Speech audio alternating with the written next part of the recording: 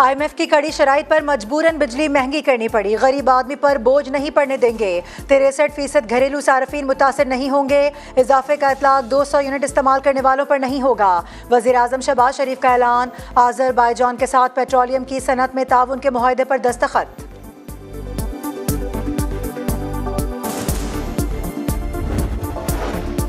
सहाफ़ियों और media workers के लिए हेल्थ इंश्योरेंस फॉर्म का इजरा।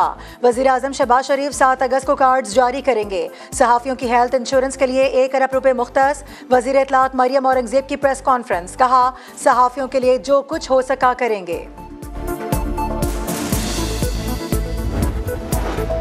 निगरान वज़ीर आज़म के लिए पीपल्स पार्टी ने किसी का नाम की मंजूरी नहीं दी। तीन रुकनी टीम फाइनल करेगी। शर्जील मेमन की मीडिया टॉक, मजीद कहा, सिंध हुकूमत हर सड़क पर पब्लिक ट्रांसपोर्ट चलाएगी। अगले चंद माह मजीद बसें कराची पहुंचेंगी। पीपल्स बस सर्विस के किरायों में इजाफे की सिफारिश को मुस्तरद कर दिया।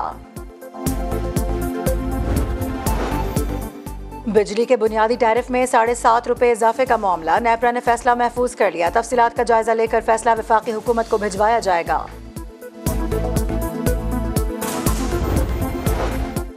डॉलर को कंट्रोल करने के तमाम हरबे नाकाम। इंटरबैंक में एक रुपया चवालीस पैसे महँगा, दो सौ अट्ठासी रुपये पच्चीस पैसे पर ट्रेडिंग। ओपन मार्केट में दो रुपये इजाफा, दो सौ तिरानवे रुपये में फरोख्त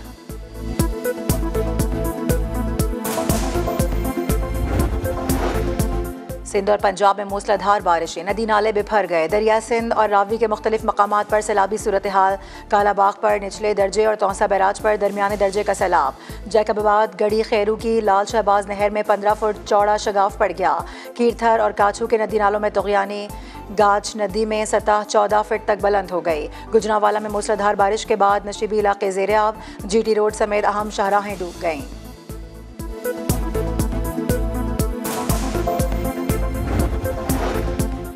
Army chief general Asim Munir से अमरीकी कमांडर सैन कॉम की मुलाकात। तमाम शोबों में दो तरफा ताल्लुक को मजीद फ़रोग देने की ख्वाहिश का अदा इलाकई सिक्योरिटी और दिफाई ताउन पर तबादला ख्याल।